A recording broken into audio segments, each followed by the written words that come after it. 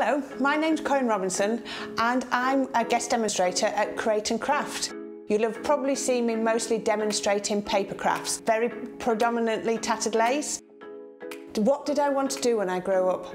I wanted to be in the circus as an acrobat, but as I couldn't do forward rolls, it just was never going to happen.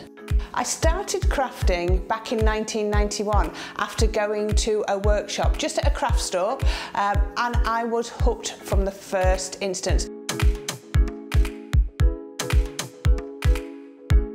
What do I love about Create and Craft Customers? I love their enthusiasm. Uh, I love getting out and meeting them. I love the fact that they get to know us through the television um, and they get so excited when they come to see us, but they bring that passion with them and that is just fantastic.